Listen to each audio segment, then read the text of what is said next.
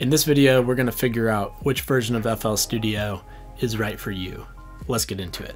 What's up, my producer friends? It's David with another monsterproductions.com. So, the first thing that I would recommend you do is go directly to the manufacturer's website. That's going to be imageline.com. And then we can go over here to where it says download and we can click FL Studio. And then there's a little button down here which says compare editions. So we can click this. And this is going to give us all the information we need to know as far as what comes with what version of FL Studio. So there are four different versions of FL Studio. There's the Fruity Edition, Producer Edition, Signature Bundle, and All Plugins Bundle. And these all have different price points. You can see that here. The cheapest is the Fruity Edition. It's only $99. And so what I'm gonna do is go through the various different plugins that you're gonna get with each one of these editions. And hopefully by the end of this video, you'll have a good enough understanding about the differences that you can actually make a good decision about which version is going to be right for you. Now before we jump in here, I do want to mention that if you're considering getting the Akai Fire, which is a controller that you can purchase and the FL Studio software comes along with it, that's going to come with the Fruity edition of FL Studio. So if you already want to get that controller anyway, I would recommend going ahead and getting the controller first, installing the Fruity edition of FL Studio, and then upgrading to the producer edition. So that is something that you can do. Once you've purchased one edition, if you decide that it's not quite right for you, if you want to upgrade for any reason, you don't have to rebuy the whole new edition. ImageLine will let you upgrade for essentially the same price, which is the difference of price points from, from one to the next. So just something to be aware of, uh, and hopefully it'll take a little bit of pressure off you as far as deciding which version's right for you. Now, me personally, when people ask me which version of FL Studio I recommend, I would not recommend the Fruity Edition.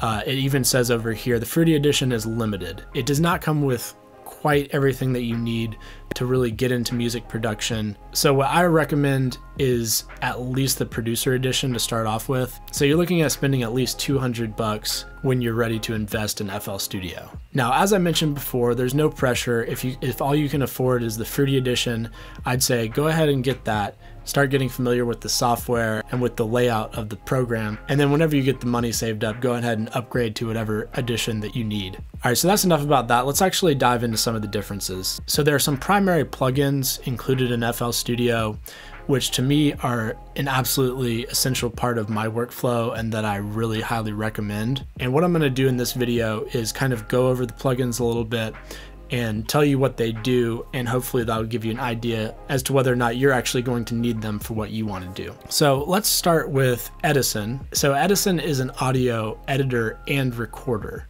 So this is actually going to allow you to record audio into FL Studio, which is not something that you can do with the Fruity edition of FL Studio. So Edison is a really, really powerful tool I highly recommend looking into it, figuring out exactly what it can do whenever you get kind of acquainted with FL Studio. So Edison comes with the producer edition onward. So if you're interested in doing any sort of recording within FL Studio, uh, you're pretty much going to have to get the, at least the producer edition right off the bat. So the next plugin that I want to talk about is NewTone, and this is a pitch and time editor plugin. There's a very popular plugin called Melodyne, which a lot of professional mixing engineers use, and this is basically FL Studio's version of that. It really allows you to hone in and like perfectly edit and fix any sort of mistakes in vocals as far as pitch and timing and that sort of thing. And you can do it in a way where it doesn't sound super auto-tuned. It sounds really natural. So it gives you a lot of really amazing flexibility there.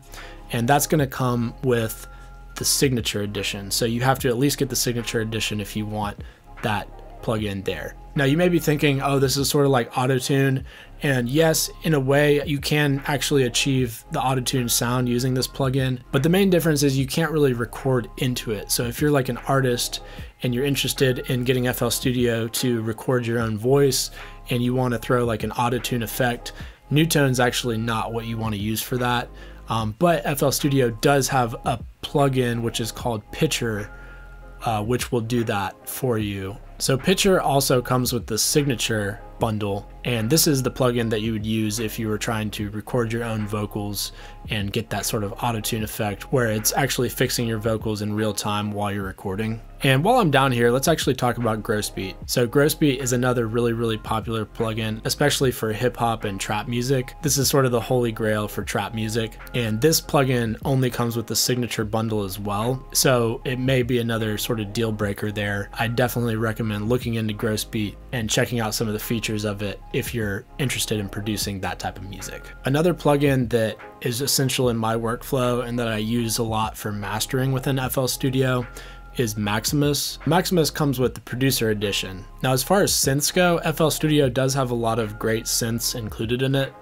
Um, even in the Fruity edition. I don't want to spend too much time in this particular video going over all these, um, but of course you can kind of look through these and do your own research if you feel the need to. On top of this, there are a lot of really great free synth options out there.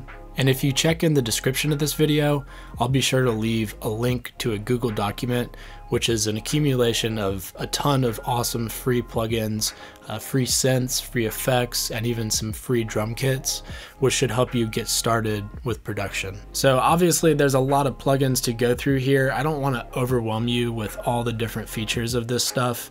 Uh, I think I covered all the main ones which are really important to me. As I mentioned earlier, it's not the end of the world if you get like the producer edition and then want to upgrade to the signature edition later. ImageLine makes that really e easy to do and another really cool thing about FL Studio is that you have lifetime free updates, which is just a great policy that ImageLine does. So just another reason to uh, choose FL Studio over some of the other DAWs out there. And by the way, just a disclaimer, this video is not sponsored by FL Studio. I just really like the products. And I hope this video was helpful for you and now you're gonna be able to make an educated decision as far as which version to get. If you like the video, be sure to hit the like button. If you're new to the channel, consider subscribing. I do do a lot of FL Studio tutorials on here and just production tutorials in general. So if you have questions about various things within FL Studio while you're learning to produce, I may have a video on it and I'll be releasing a lot of videos in the future as well. So keep an eye out for all that and I'll see you in the next video.